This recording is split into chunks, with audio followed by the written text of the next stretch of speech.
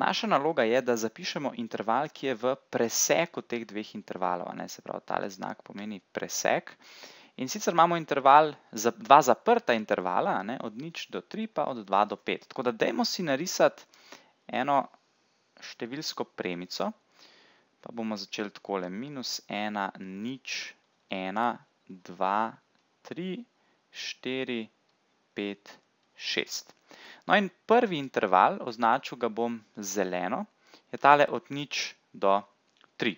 Se pravi, zaprtje na obeh straneh, kar pomeni, da bo, bosta na obeh straneh takole dve odebeljeni piki, a ne, in ta interval uh, poteka med nič in tri. Torej, nič in tri sta vključena v ta interval.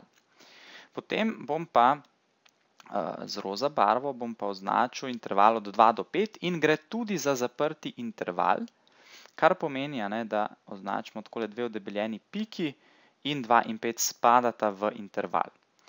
No in potem pogledamo, ne, kje se ta dva intervala sekata. Ne, in sekata se tukaj vmes. Ne. Se pravi, to je zdaj presek teh dveh intervalov.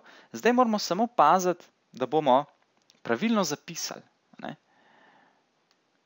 Se pravi, ali dvojka zdaj spada v ta interval, pa trojka ali ne.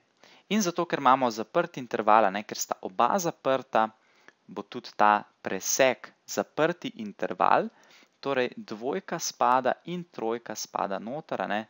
vse tole je pa, um, se pravi, vsa realna števila, ki so tukaj vmes, ne, med tema dvema naravnima številoma, pa so v intervalu. Se pravi, rešitev potem tukaj je interval, od 2 do 3 z oglatimi oklepaji, kar pomeni, da dvojka in trojka spadata v interval.